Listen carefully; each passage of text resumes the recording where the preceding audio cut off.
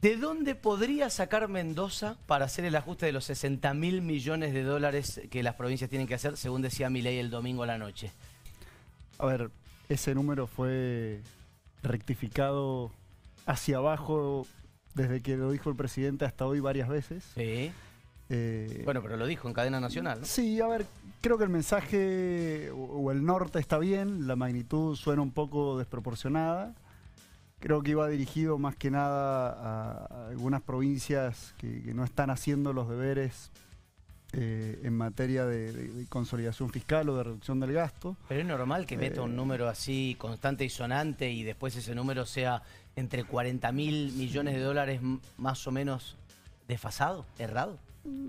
A ver, creo que el origen del número es ese, ese pacto que se suscribió entre algunos gobernadores y, y el presidente, o, Mm. o que se, se apunta a, a un, a un gasto consolidado en Argentina del 25% del producto. Consolidado se refiere a nación más provincias, más municipios, más todo el organismo estatal, ¿no es cierto?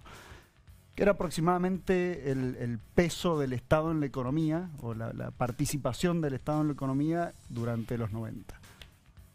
Entonces, con la cuenta de cuánto es ese, ese, ese porcentaje hoy, cuánto ajustó Nación y cuánto falta por ajustar, bueno, aparentemente de ahí surge el número. Pero usted le Pero cierra ese número. No, no, definitivamente ese número no cierra porque... ¿Y los 20.000 i- i- millones que ayer decía Imagínate que el presupuesto de la provincia de Mendoza asciende a cerca de 2.000 millones de dólares, años más, años menos. Claro. Eh, 60 mil millones de dólares suena mucho, ¿no? Si, si a Y dividido 24 jurisdicciones es eh, 2.500 millones de dólares. Sí, o si a O sea, nosotros, si a nosotros nos tocara el 4%, que es aproximadamente la participación de la provincia en casi todo, ¿no? En población, en producción y demás, eh, sería un número por encima de nuestro presupuesto. Es un bi- Pero- eh, por el 4% es un billón y medio, o sea, casi nuestro presupuesto. Igual creo, a ver, insisto, el, el- el norte tiene lógica, eh, tiene lógica que, que- que todas las provincias eh, hagan un esfuerzo, sobre todo aquellas que no lo han hecho. Eh, en el caso de Mendoza, y voy a ser demasiado recurrente con esto, porque lo digo cada vez que vengo a este programa, pero se viene trabajando hace mucho tiempo en, en materia de reducción de gastos y en materia de reducción de impuestos. La mayoría de los puntos del, del programa fiscal Ujú. de- de- del- equipo y del presidente Milei, nosotros los compartimos, pero no de palabras, sino con, con, con- Con con hechos. hechos. ¿no? Le hago la, la última de esta rondita y voy a la mesa. Pero el- el- a lo que voy es, ¿no le hacen ruido los números extraños que a veces pone Javier Milei sobre la mesa? La inflación eh, volando al 17.000% anual. Según él el año pasado estábamos volando al 17.000% anual de inflación, que entendemos tomó un solo día y lo, bueno, lo elevó. Algo así. Eh, ahora los 60 mil millones, después salen a decir, no, son 40 mil millones menos. ¿No le hace ruido ministro de Hacienda ver, que el presidente sea tan errático a la hora de dar números? Si es una manera de explicar un problema con la técnica de la exageración y así tratar de, de, de convencer o de, o de definir la magnitud del problema, tiene sentido. Y bueno, pero él Si, es si economista. realmente nos vamos a creer esos números, yo creo que no tiene sentido. Bueno, Claro. pero es el presidente.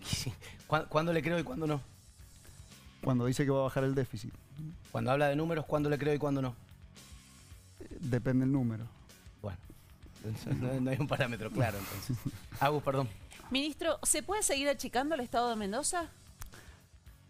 Yo creo que siempre se puede seguir, eh, en, parte porque la sobredimensión, sobre todo la estructura de personal que ocurrió en- en- entre 2007 y 2015 fue, fue importante y eso tiene efectos de largo plazo, ¿no?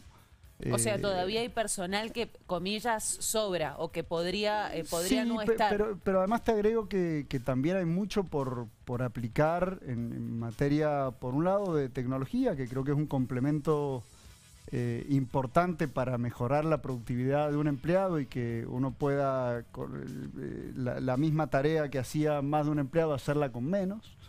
Eh, y también encontrando aquellos organismos que por ahí o, o- dejaron de tener sentido o, o perdieron el objeto o la necesidad para lo que para, el- para la que fueron creados, ¿no? Tal es el caso Bueno, el caso del Canal Acequia fue uno, el caso de, de Aeronáutica Mendoza fue otro.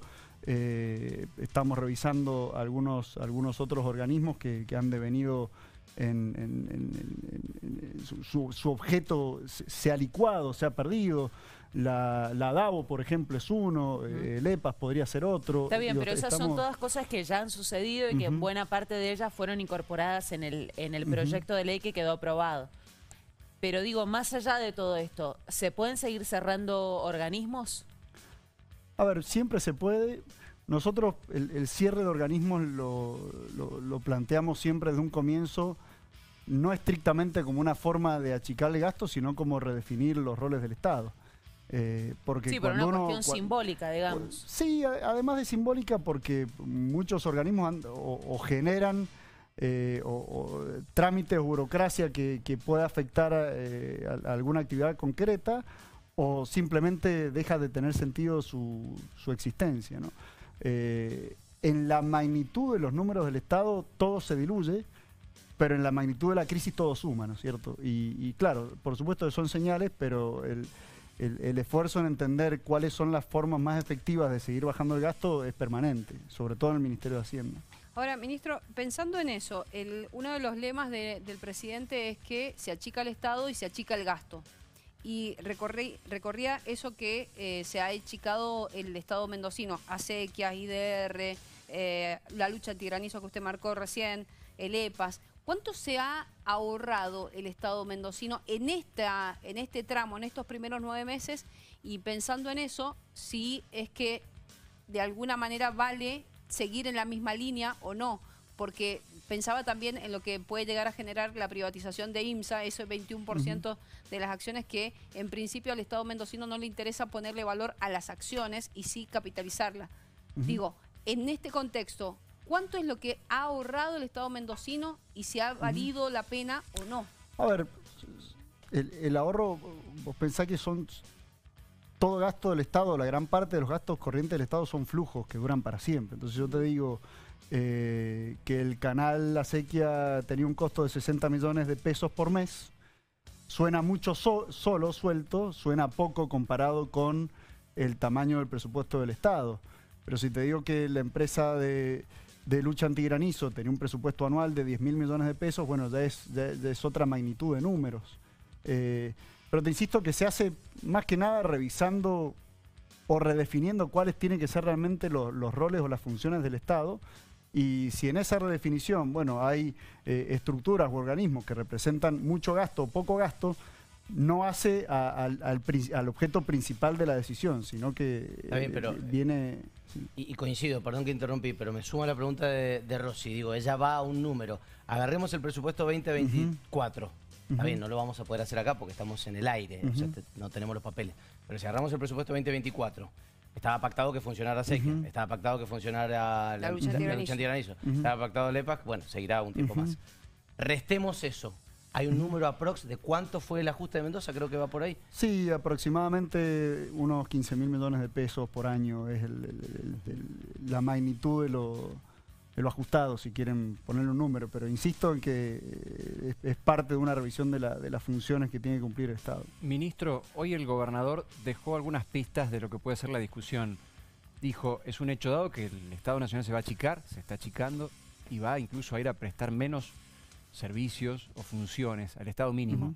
Muchas de esas tareas las asume la provincia, pero no está haciendo lo mismo con el reparto de impuestos. Puso el ejemplo de los impuestos que se compran por los combustibles, que se cobran por los combustibles. ¿Qué, va a pedir la provincia? ¿Cuánto en este reparto de funciones está perdiendo la provincia respecto al reparto federal?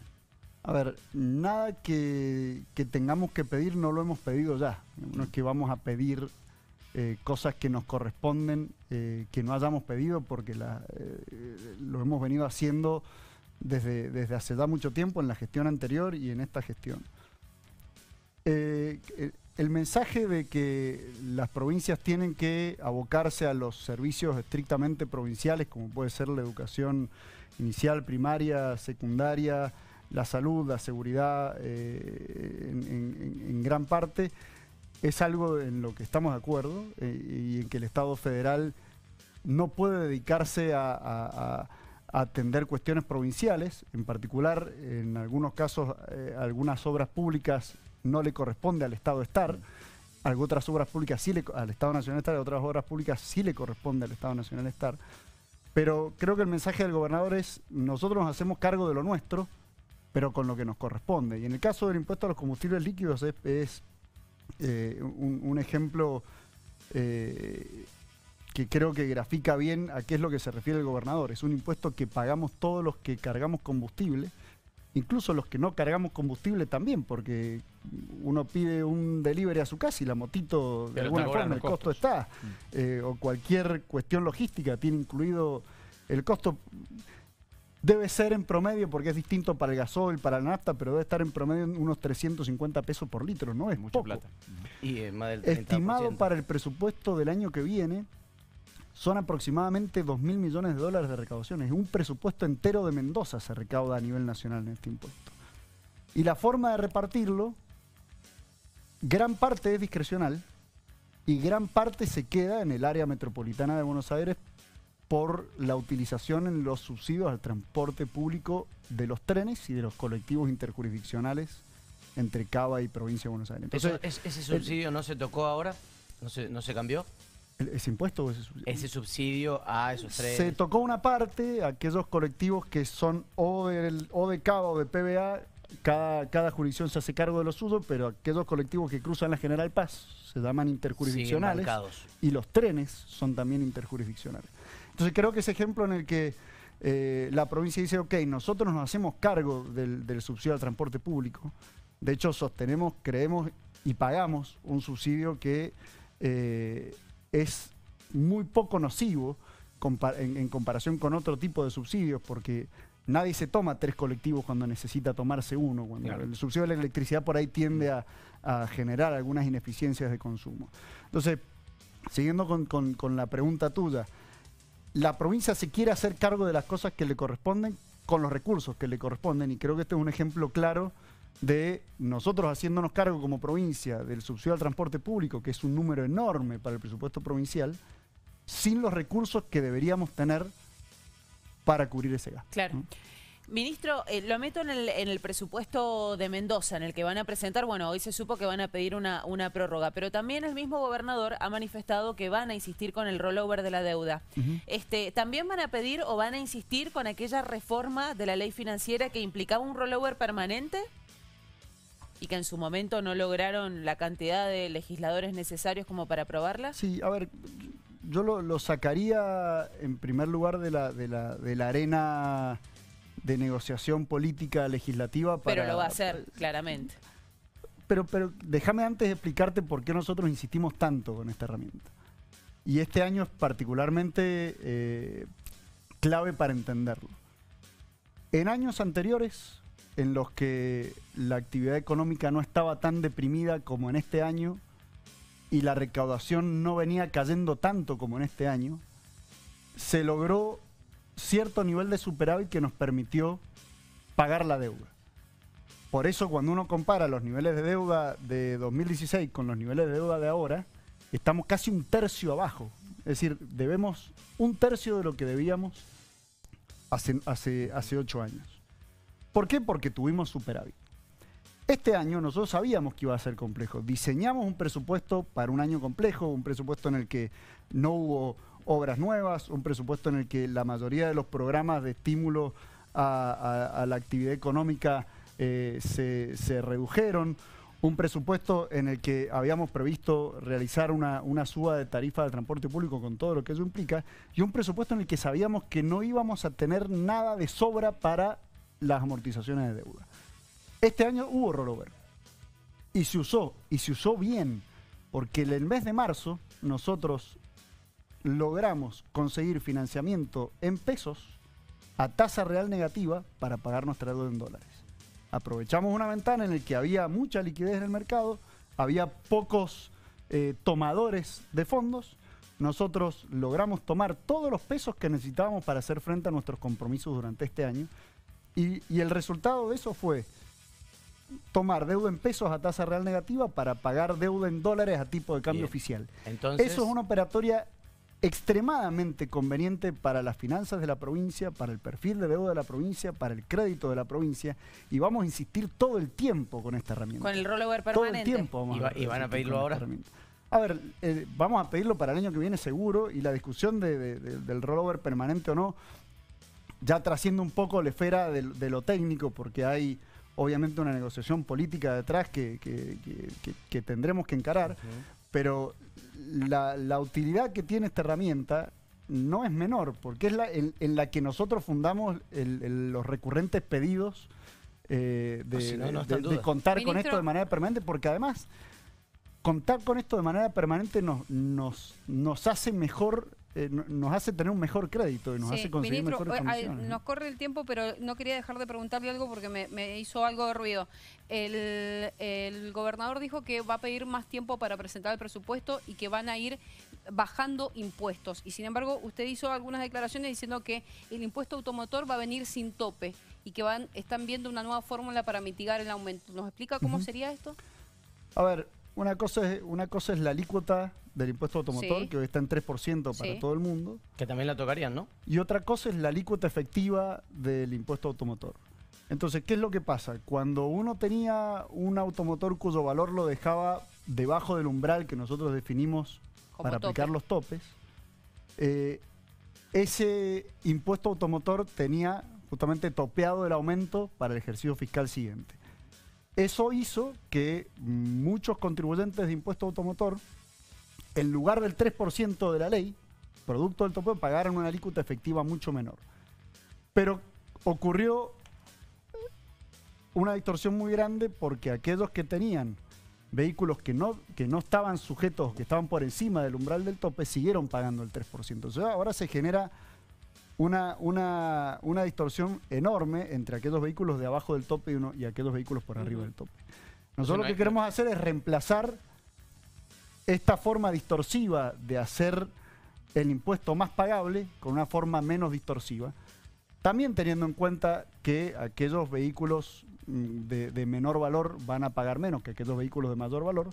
Lo estamos diseñando, quizá no, no, no, no corresponde que, que uno eh, muestre el detalle de la política impositiva eh, acá antes que, en la legislatura, pero es algo que tenemos que hacer porque, porque las distorsiones siguen creciendo.